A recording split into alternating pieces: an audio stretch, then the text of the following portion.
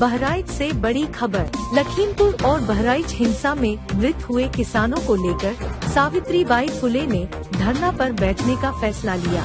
हिंसा में मृत हुए किसानों के घर पहुँची पूर्व सांसद से पुलिस कर्मियों ने की धक्का मुक्की जबरन हिरासत में लेने के लिए गाड़ी में बैठाया गया। महिला सांसद का बाल खींचकर पुलिस कर्मियों ने जबरन गाड़ी में बैठाया। पूर्व सांसद सावित्री बाई फुले के साथ जमकर की गई अभद्रता।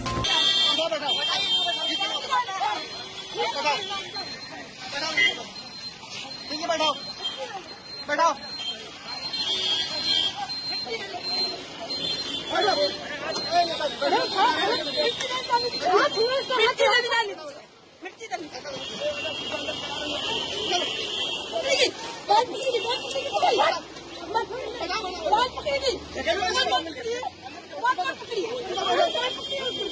ओए। मारना नहीं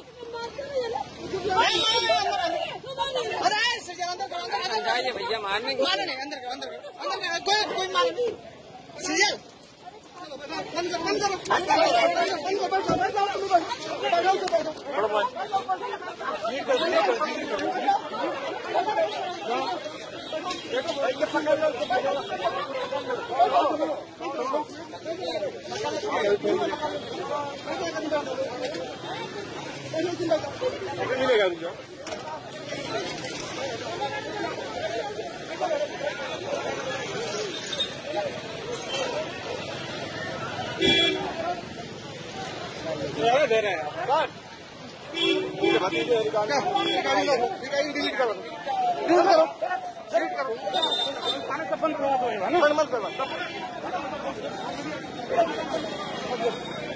दुकान बंद करो बंद करो